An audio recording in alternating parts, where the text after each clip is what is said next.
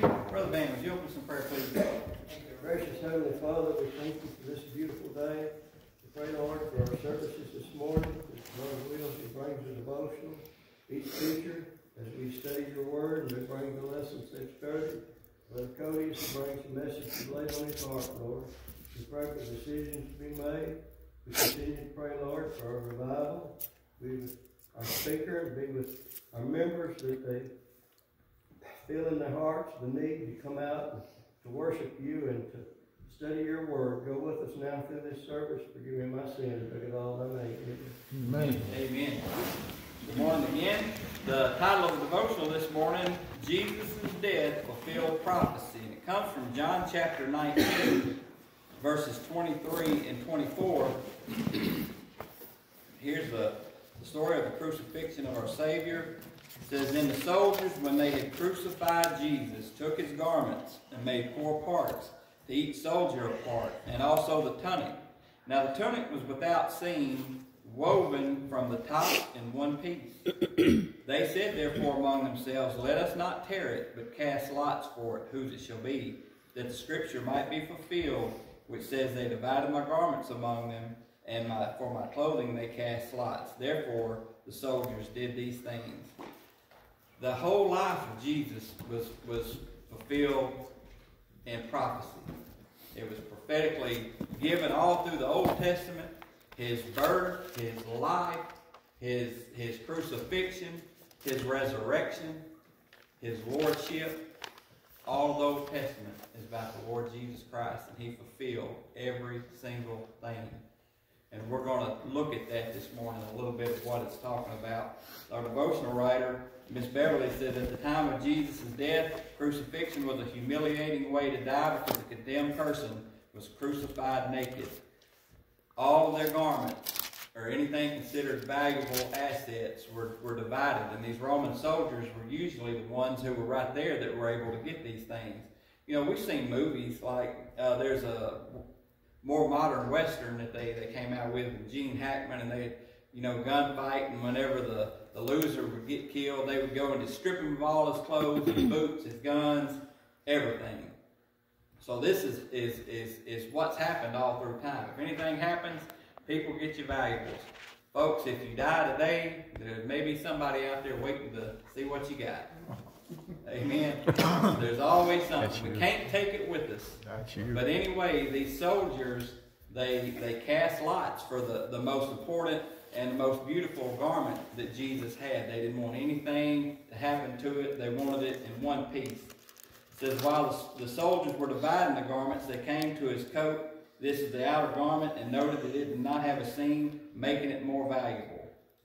It would fulfill the scripture written by David many years before Jesus' death on the cross.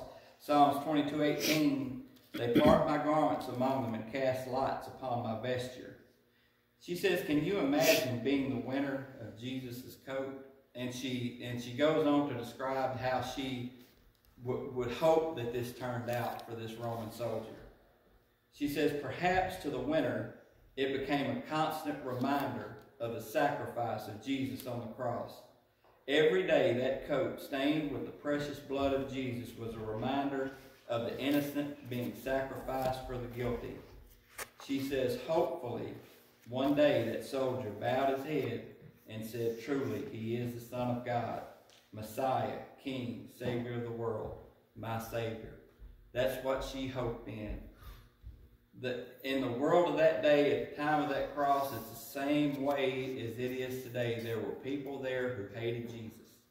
They hated God. They hated what he stood for. They claimed he was a blasphemer. But there was people there that day that also loved Jesus. They loved him.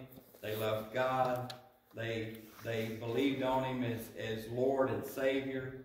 And that's what she's hoping happened to this Roman soldier. We should hope this happens to everybody.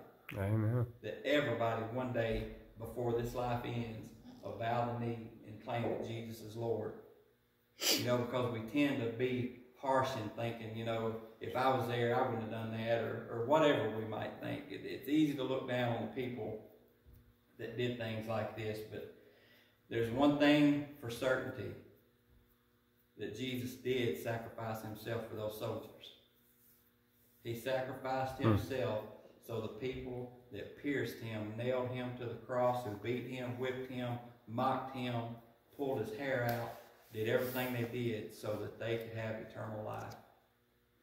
He did that. He's the only one that is worthy. None of us, when we get thinking about these Roman soldiers, none of us are worthy. If you want to turn to Revelation chapter 5, we're going to look at that, this, this worthy lamb. Beginning in verse 1, this is John said, I saw in the right hand of him who sat on the throne a scroll written inside and on the back, sealed with seven seals. Then I saw a strong angel proclaiming with a loud voice, Who is worthy to open the scroll and to loose its seals? And no one in heaven, or on the earth, or under the earth, was able to open the scroll or to even look at it. Who is no one? Not one. Hmm. None. Out of all the angels that's ever been created who served God faithfully, they weren't worthy. Nobody in heaven, nobody on earth up to that time, not Adam, not Isaiah, not Nehemiah, not Moses, not Noah, not the great prayer warrior Hannah, not even Mary, the very vessel that God chose to bring his son into this world, was found worthy to open that scroll or to even look at it. None of the disciples, John, given the greatest opportunity probably that any of us could ever hope for, was given a vision of the throne room of heaven, hmm. of God, of all of all of his glory, of everything. Not even he was worthy to take this scroll and to open it this Savior that was crucified on Calvary's cross, that they, that they parted his, his, his garments and they gambled for him. None of these people, not even John. He said, so I wept much. I wept much because no one was found. But one of the elders said to me, Do not weep. Behold, the Lion of the tribe of Judah, the root of David, has prevailed to open the scroll and to loose its seven seals. And I looked, and behold, in the midst of the throne and of the four living creatures, and in the midst of the elders, stood a lamb, as though it had been slain, having seven horns, seven eyes, which are the seven spirits of God, sent out into all the earth. And he came, took the scroll out of the right hand of him who sat on the throne. When we get to thinking about these Roman soldiers, and we get to thinking about all the people who crucified our Lord, who, who committed all sorts of atrocities through the years and con continue to commit them today, that same Jesus who was worthy to take that scroll is the one who was nailed to the cross, and none of us in this world are worthy. When we get to thinking about the drug addicts, when we get to thinking about the pedophiles, when we get to thinking about all the people who uh, do whatever that we may think is the most atrocious things on this planet, John said not even one, not even the angels of heaven was found to be worthy to take that scroll from the hand of God. Amen. But Jesus was. Thank God, as horrible as it was, that he sacrificed himself on that cross. Amen. Thank God for the prophecies that foretold of it. Thank God that he has the power to make those prophecies come true. Amen. Because if it was in our hands, it would never happen. The billions born before, and just think about the billions that's been born since that's been saved and filled with the Spirit of God was not even worthy, but Jesus is. God in heaven. Heavenly Father, we thank you for the privilege of gathering here as your church today, Lord. We thank you for the sacrifice of your Son on the cross, Lord. And, and those Roman soldiers, I, Lord, I pray, just as Miss Beverly does, that that soldier came to know Jesus as his Savior before he left this earth. Father, we thank you that you sent your Son as a perfect sacrifice, Lord. And and, and we all understand that, that we come up short, that we're not worthy to be the one to, to loosen that scroll, Lord, who, who deserves to be worshiped and honored like Jesus is, Lord. But we thank you for it too, Lord. We thank you that Jesus is found worthy and faithful and honorable and worth all the praise and the worship and the honor that you bestowed upon him, Father. We thank you for that.